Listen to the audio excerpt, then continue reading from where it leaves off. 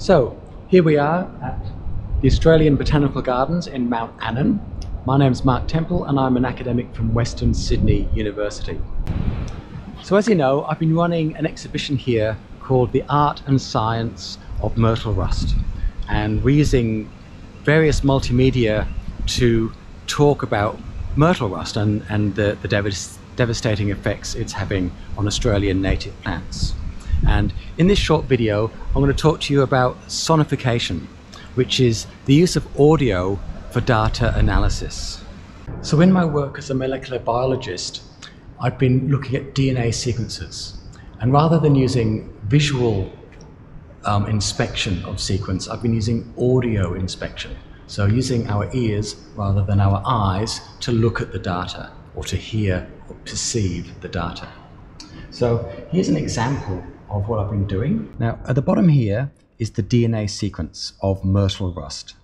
And in the cell, these pr large proteins, they bind to the DNA sequence and they read along it like a train running down a track. Now, in the cell, when the DNA is processed, it produces proteins. And I'm showing here a, an example of a protein being made.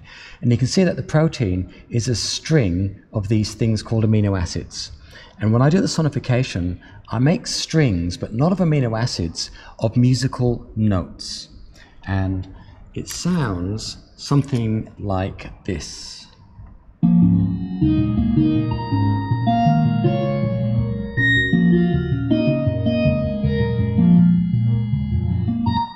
So you can hear this pulsing, these pulsing patterns, and what I'm doing, I'm looking at nucleotides, and there are four types of nucleotides, and I convert each nucleotide into a note. So there are four notes. And then I look at the dinucleotides, and there's um, these come in pairs. So four times four, there are 16 different pairs. So I get 16 notes. And then I look at things such as what we call the GC content or the GC ratio. And as that changes slowly over time, I um, sonify that to individual notes, but these notes aren't pulsing like these ones. These are much slower, um, more paddy sounding, like in like a synthesizer, soft sounds. And then I've got the different reading frames. So there are three different reading frames, and um, in this example here, the nucleotides are coding for an amino acid called arginine, and I map that to an, a musical note. So if I play it here,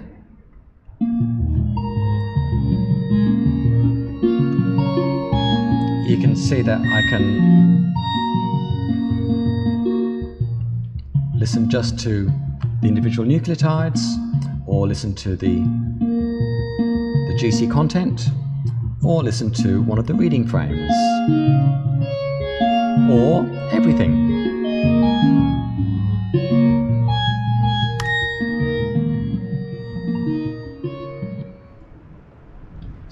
That's the use of audio in a science context.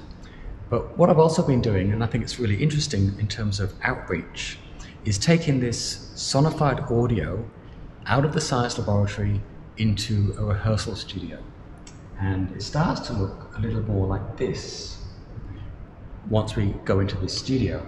And in this instance, I've taken a very similar sequence, but I've mapped it to different instruments.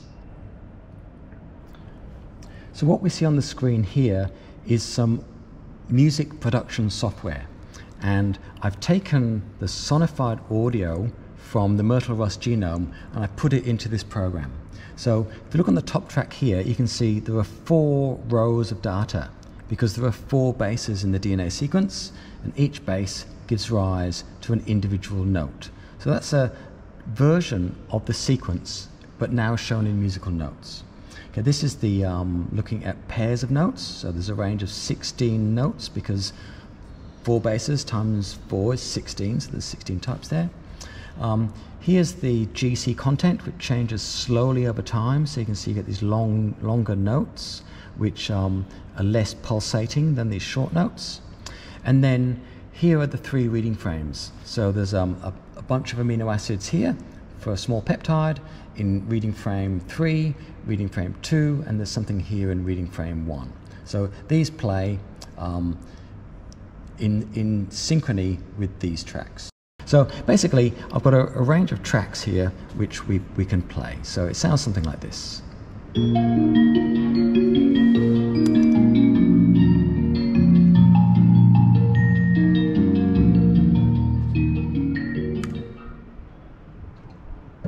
So once I've got the remapped science data in an audio context, so once I've got the science data sounding nicer in, in, in the recording studio, I can then play drums to the audio.